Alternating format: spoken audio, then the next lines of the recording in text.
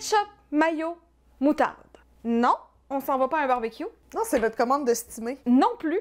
Aujourd'hui, on teste plutôt des recettes très louches faites avec ces condiments assez populaires. Bienvenue à Louche!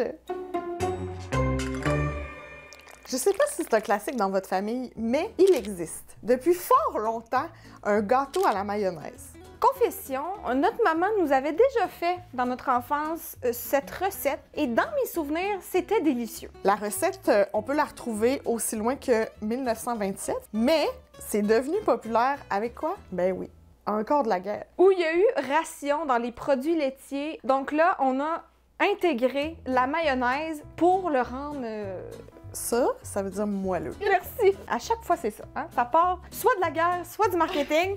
Dans ce cas-ci, c'est les deux. Et on remercie Madame Frank Price, dont j'aimerais avoir le petit nom, parce que je me doute que c'est le nom de son mari. Cette dame-là, son mari était représentant chez Hellmann's. Et elle a eu l'idée de proposer la fameuse recette à la compagnie, question de faire mousser les ventes de Wow! la mayonnaise prête à manger. Bravo, Mme Price! Donc, on doit dire qu'on a commencé à cuisiner avec un peu plus de confiance peut-être que ce qui s'en vient. Beaucoup de. On a trouvé le mélange vraiment liquide. Et donc, ça a été beaucoup plus long à cuire que ce qu'on suggérait sur le site même de la mayonnaise. Puis si on voit, c'est vraiment moelleux. là. Toi, ça, dans mes souvenirs, c'était ça, là. Bon, là, on connaissait déjà le gâteau, mais il existe aussi des recettes de glaçage à la mayo. Pourquoi? Jusque-là, ça se passe bien. Ouais. Mais là, prochain ingrédient, Salut!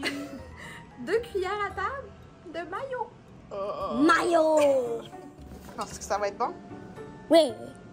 On dirait que c'est encore plus louche dans le crémage, non? Mais ça donne vraiment un beau glaçage. Ben, il est très onctueux, très fluffy. Est-ce que ça vaut la peine de passer ton fond de maillot dans un gâteau à la mayo? Prends la pointe! Ben, prends l'autre pointe, là. Euh, C'est un triangle, là. Une petite pointe vinaigrée? C'est vraiment le thème de la journée, vinaigre. Oh, c'est onctueux. C'est parce que c'est quasiment lava cake, là. Ça donne un glaçage crème au beurre un peu moins riche peut-être. Ça coupe peut-être un petit peu le sucre. À refaire, je ferais vraiment comme la recette, puis j'utiliserais deux moules ou je couperais le gâteau en deux pour avoir une étage de crémage pour comme couper un peu euh, le pain. Mais c'est délicieux. À toutes les personnes qui m'ont regardé avec des yeux sortis de la tête depuis que ma mère a fait cette recette, je vous dis de l'essayer. Je, je le fais là. C'est tellement contre-intuitif. Dans l'échelle de louche, on va là. C'est dans la stratosphère. C'est un gâteau au ketchup. Moi, tu me dis ça, gâteau au ketchup, ça sonne vraiment comme une vieille recette. C'est vraiment Heinz qui, en 2009, aurait publié pour la première fois à l'endos de sa bouteille la fameuse recette du Great Canadian. 2009, là, c'est même pas un autre siècle. Il y a ici, il suggère un pain de viande classique. Ça, j'embarque avec du ketchup, pain de viande classique, c'est oui. Le gâteau, c'est c'est épicé. Juste à savoir si ça goûte la tomate. Ah, wesh! ne faites pas ça à la maison, mais on va goûter cru. Style gâteau aux carottes. Ça sent vraiment plus mauvais que ça goûte. Oui. On aurait pu s'arrêter là, là, c'est louche. Mais on va faire la petite combinaison, appelons-la hot dog du stade, parce qu'on propose Par on, c'est pas nous. là. Non. C'est une re- recette qui a été publiée sur Internet. Ça vaut ce que ça vaut, mais ça existe, là. un glaçage à la moutarde. Bon, ça n'a pas été de tout repos. N'ayons pas peur des mots, on a échoué la première tentative. Du beurre, qui est un produit laitier, avec la moutarde qui contient tellement de vinaigre. Vous pensez que ça fait quoi? Mais là, on s'est repris, puis c'est mieux. Mais il sent pas meilleur, là. Ouvre-toi sur le monde. Au premier regard, comme ça, là, on dirait un petit, euh, petit red velvet, là. OK, c'est moelleux, ça sent bon, mais ça contient vraiment trop de colorants. Et on a coupé plus que de moitié la quantité de colorant, là. Mets-moi donc un petit peu de moutarde avec ça, mon gâteau.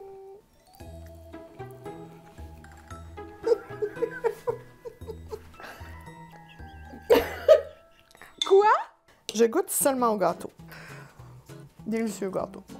Ça goûte pas la tomate. Même pas en arrière-goût, là. Euh, le crémage. J'aimerais parler à ton gérant. Je suis quand même assez euh, critique, normalement, et là, je ne suis pas prête à dire que c'est dégueulasse. Vous allez continuer avec une fille ordinaire. Bye. Mais t'en prends une autre bouchée, tu dois être d'accord? Je peux pas! Ça apporte une certaine acidité. Je suis comme un peu insultée. Des fois, il y a comme des vagues de gâteaux, puis là, t'es là, hum, hum, c'est bon, c'est bon. Puis là, oups, moutarde de baseball. Moi, là, le mix dans ma bouche se rapproche de genre un glaçage très, très, très intense au citron, mettons. Ma première bouchée, j'ai rajouté du crémage. C'était pas bon. Mais je pense que t'es pas supposé rajouter du crémage. Ben, à quoi bon manger un gâteau si on peut pas mettre double crémage? J'avais prévu le coup. J'ai fait un petit crémage, fromage à la crème, rapido. là. Tu me dis c'est un gâteau carotte dans lequel j'ai mis un petit peu de colorant. Je n'y vois qu'il y a du feu, là, Très bon, mais pourquoi tu rajouterais du ketchup? pour faire jaser. Ben, ça a marché. Bon, qu'est-ce qu'on retient de cette dégustation? C'est pas nécessaire, mais c'est le fun. À ça, j'ajouterais à quand une recette de gâteau à la relish. Quelle a été ta découverte? Le gâteau au chocolat à la mayonnaise, je referais ça là, sans hésiter. Mais c'est comme pas une découverte dans le sens que ça goûte comme attendu. Mais gâteau au ketchup, je m'attendais vraiment à un certain goût de tomate. Agréablement surprise qu'il y en ait eu zéro. là. Toi, je présume que c'est le glaçage à la moutarde. Je vais me crémer la moutarde partout. Contente de l'avoir essayé. Ça s'arrêtera là. Le glaçage à la mayo, j'étais sceptique.